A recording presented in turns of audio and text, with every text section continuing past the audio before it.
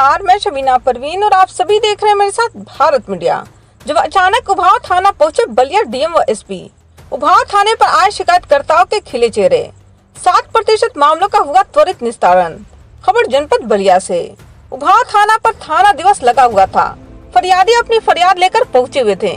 किसी को भनक तक नहीं थी कि आज उनकी फरियाद खुद जिलाधिकारी प्रवीण कुमार लचकार व पुलिस अधीक्षक विक्रांत वीर सुनेंगे।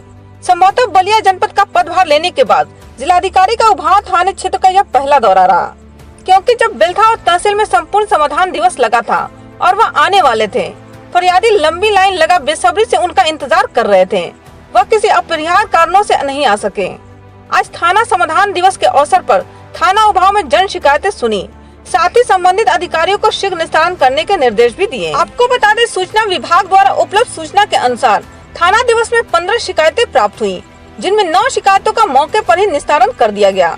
ज़्यादातर मामले राजस्व संबंधी आए। डीएम और एसपी ने अधिकारियों को शीघ्र मामले का निस्तारण करने का निर्देश दिया। थाना दिवस में उप जिलाधिकारी निशांत उपाध्याय, क्षेत्राधिकारी रसा मोहम्मद फहीम, इंस्पेक्टर उभाव विपिन सिंह सहित अन्य अधिकारी व कर्मचारी उपस्थित रहे। ऐसी ताज़ा खबरों के लिए बने रहे भारत मीडिया के साथ।